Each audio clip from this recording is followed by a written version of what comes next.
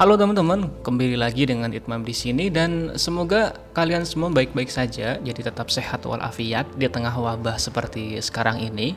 Dan di video kali ini, ini saya akan berbagi cerita ke teman-teman tentang keadaan kota tempat tinggal saya yang sekarang, yaitu kota Semarang dan ceritanya itu berawal dari hari Sabtu tanggal 2 Mei 2020.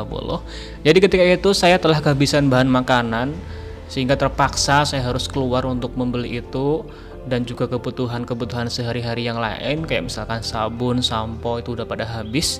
Jadi saya harus beli itu untuk beberapa hari ke depan. Jadi di video ini, ini videonya saya ambil pas hari Sabtu sore itu tanggal 2 Mei dan saya edit itu tanggal 3 Mei di hari Minggunya. Di mana kondisi itu pas hari Minggu untuk wabah ini yang positif itu itu sudah 788 orang positif kemudian 144 orang sembuh serta 74 orang meninggal. Nah di Jawa Tengah itu kasusnya seperti itu teman-teman. Pas tanggal 3 Mei dari 788 yang positif itu konsentrasi yang paling tinggi itu di kota Semarang teman-teman. Terus kemudian di kota Solo ya. Nah ini tentunya sangat mengerikan dan tambah ngeri lagi karena anjuran pemerintah untuk stay at home atau setidaknya physical distancing kalau misalkan terpaksa keluar rumah itu nampaknya kurang terlalu berpengaruh. Karena sepengamatan saya kayak perbedaannya itu tipis banget dibandingkan hari-hari biasa sebelum wabah Nih buktinya teman-teman bisa lihat sendiri jalanan itu masih padat, masih rame, lapangan juga masih biasa digunakan untuk jogging, untuk main bola, untuk sekedar nongkrong sore. Kemudian ini kucing hitam juga masih jalan-jalan seperti biasa. Pedagang jualan juga di sore ini nampak seperti biasa. Nah, khusus nih untuk uh, teman-teman pedagang gitu ya. Tentunya ini bisa saya pahami kenapa mereka tetap jualan dan menjadikan salah satu penyebab kenapa kota ini masih ramai. Ya karena dilema juga kalau misalkan mereka atau teman-teman yang pedagang ini nggak jualan lalu mereka itu mau makan apa coba? Nah begitu juga dengan warga kos-kosan seperti saya yang mau makan apa kalau nggak beli dari bapak-bapak dan ibu-ibu pedagang ini? Ya gitu teman-teman. Jadi dilema gitu kan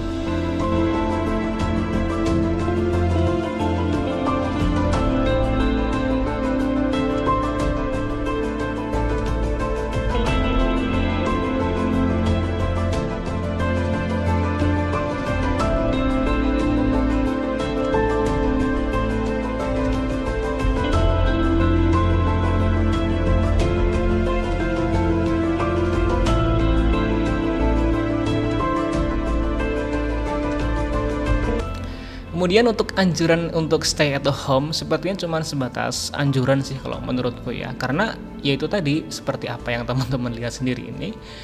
Tapi tunggu bentar nih, emang eh, nggak uh, ada perbedaannya sama sekali.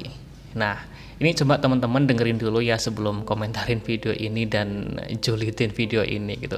Jadi selama yang saya lihat di sini untuk uh, apa stay at home atau kemudian physical distancing itu ada ada perbedaan sih, ada perubahan baik dari cara kita berinteraksi atau bersosialisasi sehari-hari. Seperti misalkan nih, saya udah nggak pernah berjabat tangan dengan siapa pun teman-teman. Ya untuk antisipasi tentunya gitu kan. Kemudian kalau keluar-keluar itu juga pasti selalu pakai masker. Orang-orang di sini yang keluar juga mayoritas pakai masker mayoritas pakai masker teman-teman. Di sini bisa teman-teman lihat sendiri di video ini banyak orang itu ya mayoritas itu pakai masker.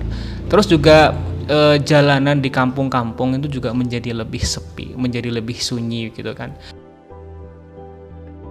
sholat berjamaah juga dikasih jarak yang lebih. Jadi di sini untuk sholat jamaah itu masih dilakukan seperti biasa teman-teman.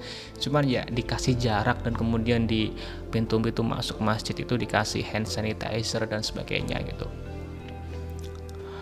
Kemudian untuk kebersihan itu sekarang juga lebih diperhatikan sih, soalnya e, kayak di tempat-tempat umum gitu itu disediakan tempat untuk cuci tangan. Seperti di lapangan bola ini, ini ada tempat untuk cuci tangan di Indomart, di Alfamart itu juga disediakan uh, tempat untuk cuci tangan.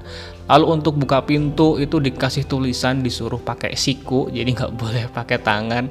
Tulisan-tulisan semacam itu ada di kayak di Alfamart, di Indomart, di kantor pos itu tulisannya itu di pintu itu.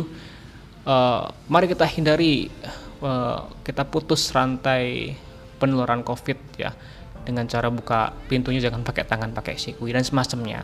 Dan itu semuanya tentunya sebagai upaya ya atau ikhtiar kita untuk menekan laju penularan wabah ini. Dan teman-teman juga jangan lupa berdoa tentunya ya karena usaha tanpa disertai doa itu merupakan sebuah kesombongan gitu teman-teman Nah itu tadi teman-teman untuk kegiatan. Intinya sih sebagian masih berjalan normal yang bekerja tetap masih bekerja hanya tidak seramai seperti biasanya sebelum wabah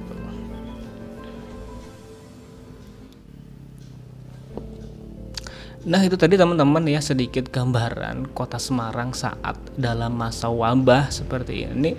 Semoga wabah ini segera berakhir dan terima kasih bagi yang udah mau nyimak video ini sampai detik ini. Sampai jumpa lagi di video berikutnya.